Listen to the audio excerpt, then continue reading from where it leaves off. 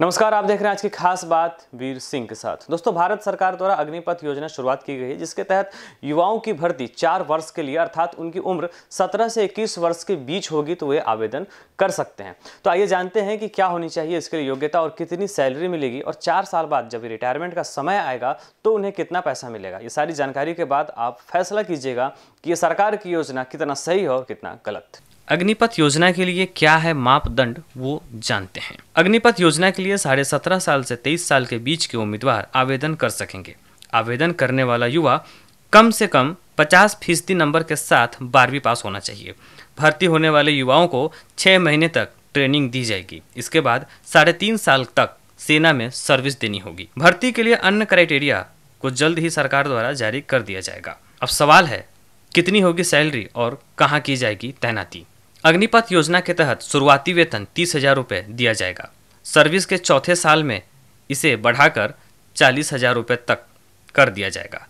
सेवा निधि योजना के तहत सरकार वेतन का तीस प्रतिशत हिस्सा सेविंग के रूप में रख लेगा। साथ ही इसमें सरकार भी तीस प्रतिशत योगदान करेगी।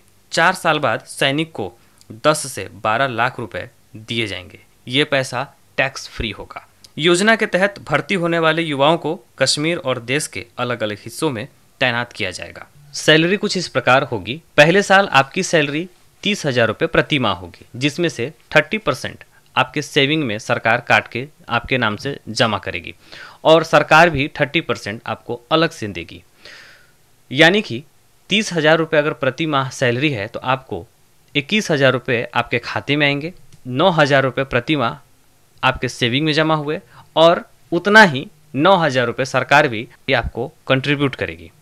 उसी प्रकार दूसरे साल आपकी सैलरी तैंतीस हज़ार रुपये प्रति माह हो जाएगी। इसमें भी तीस प्रतिशत कटेंगे और तीस प्रतिशत सरकार आपके नाम से जमा करेगी।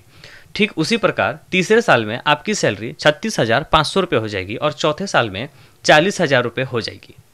चार साल के बाद जो थर्टी परसेंट आपके जमा हो रहे थे प्रति महीने वो पाँच लाख दो हज़ार रुपये होंगे और सरकार भी आपको पाँच लाख दो हज़ार रुपये कंट्रीब्यूट करेगी।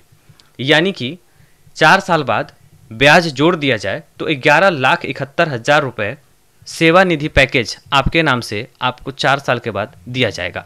यानी कि हर महीने सैलरी अलग और रिटायरमेंट के टाइम पे लगभग 12 लाख रुपए आपको मिलेंगे। दोस्तों, इस योजना का विरोध देश भर में किया जा रहा है। देखिए, विरोध करना है तो आप विरोध कीजिए। विरोध करना आपका संवैधानिक अधिकार है। लेकिन पब्लिक प्रॉपर्टी, बस हो, ट्रेन हो, ट्रक हो और जितनी भी पब्लिक प्रॉपर्टी है, उसे जलाना, उसका नुकसान करना, ये मुझे लगता है कि यह सही नहीं है। क्योंकि सरकार किसी भी पार्टी का और कोई भी हो, वो सरकार ने अपना घर, ज़मीन, जोरू बेचकर, ये ट्रेन या बस या फिर ट्रक नहीं खरीदा है। ये मेरे और आपके टैक्स का पैसा है और मेरे और आपके पैसे पैसे की प्रॉपर्टी है। तो इसका नुकसान, यानी कि किसी के सरकार का, घर का कुछ नुकसान नहीं हो रहा है। ये पब्लिक प्रॉपर्टी, यानी कि पब्लिक का नुकसान हो रहा है। और जो लोग पब्लिक प्रॉपर्टी का शायद नुकसान कर रहे हैं बिना समझे, मुझे लगता है कि शायद वो अग्निपथ योजना के लिए बने भी नहीं हैं। दोस्तों, जिस उम्र में आज के बच्चे पानठेला या फिर चौक पर बैठ कर अपना समय व्यतीत करते हैं, अपना समय खराब करते हैं, अपना भविष्य खराब करते हैं, उससे तो शायद कहीं अच्छा होगा कि चार साल के लिए भर्ती हो जाए और सम्मान से सेना में भर्ती हो जाए और जिसके लिए महीने के तीस से चालीस हज़ार रुपये भी कमाएँ और चार साल बाद रिटायरमेंट के बाद दस से बारह लाख रुपए लेकर वो रिटायर हो जाए। इस पैसे से वो चाहे तो एक छोटा मोटा बिज़नेस भी कर सकता है, अपना जीवन यहाँ से भी सुधार सकता है। उदाहरण के लिए हम एक उदाहरण लेते हैं कि जब हम कॉलेज में होते हैं तो एनसीसी के सी सर्टिफिकेट के लिए तीन साल तक हम मेहनत करते हैं, क्योंकि हमारा उद्देश्य ये होता है कि सी सर्टिफिकेट मिले तो हम सेना में जाएँ, देश की रक्षा करें, वगैरह एंड वगैरह। सी सर्टिफिकेट के लिए एनसीसी में हम तीन साल तक मेहनत करते हैं, और तीन साल मेहनत करने के लिए हम फ्री में मेहनत करते हैं और सी सर्टिफिकेट लेते हैं।